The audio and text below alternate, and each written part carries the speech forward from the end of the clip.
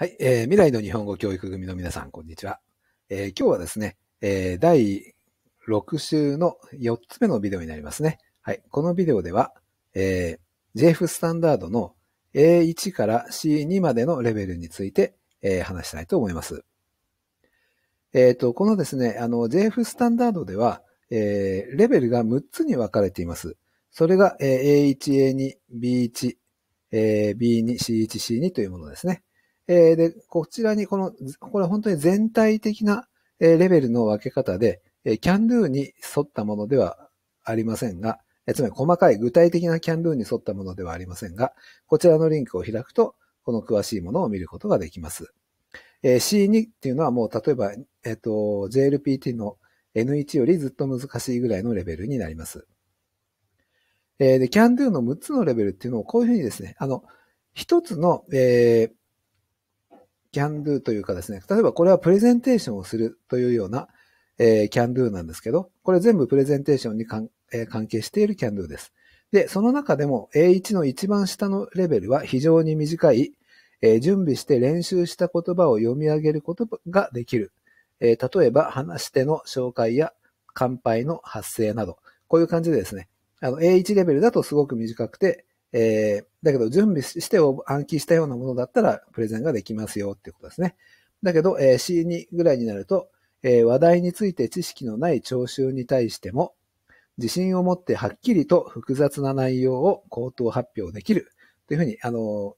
うかなりネイティブに近いレベルになっているわけですね。はい。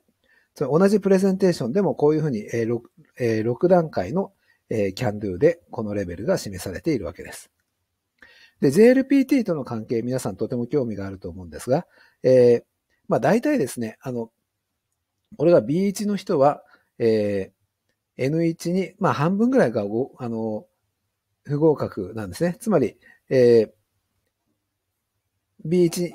は、B1 の人にとって N1 は難しすぎると。それが B2 ぐらいになってくるともう半分以上の人が合格して、C1 になるとえー、もう大部分の人が N1 に合格しているという感じになります。えー、あのこちらは N5 ですけど、N5 一番簡単な N5 は、えー、それでも A1 の人は N5 でも、えー、半分以上が落ちているということになりますね。だけど A2 になると、えー、N5 の人はほとんどの人が試験に JLPT に合格しています。はい。で、レベル別のサンプルというのをですね、実際に話しているところを聞くと、このレベルの感じがすごくよくわかります。で、えー、この、えー、リンクを開くとこういうページが出てきて、え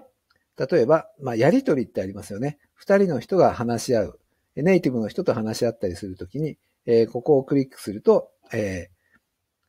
ー、A2 レベルではどのぐらいか、どのぐらいの人が、あまあ、あの A2 ぐらいの人が話しているその声を聞くことができます。で、もちろん C1 とか、えー、C1 ですね。あの、これ三角は、えっ、ー、と、半分できていて半分できていないとか、そんぐらいのレベルなんですけど、えー、そういう、あの、上級の方のレベルまで全部聞くことができますから、えー、これもぜひ聞いてみてください。えー、で、あの、皆さんが can do を書くときにですね、えー、どんな言葉を使ったら C1 とか C2 らしくなるのかっていうことが、えー、この、えー、PDF を開くと見ることができます。えー、例えばここでは、えー、聞くこと全般ですね。聞くこと全般について、えー、間を置いて、間を置いて話されればというのが A1 とかにあるわけですが、C2 だと母語話者にかなり速いスピードで話されてもというのが条件ですね。えー、それから話題や場面とか対象とか行動が、えー、あの、こういう、あの、can do の4つの、あの、要素に従ってこういうふうに書いてありますので、皆さんが can do を書くときにもとても役に立つと思います。はい。えー、この、あの、スライドへの、えー、リンクは bit.ly スラッシュ ttcb64a です。今日のこの、あのスライドの中にはたくさんのリンクがありますから、ぜひ、えー、このリンクを、えー、Chrome のアドレスバーに入力して、えー、実際の資料を見てほしいと思います。はい、えー、このビデオに知らなかった言葉があったら、暗記やクイズレットやメモライズに登録しておいてください。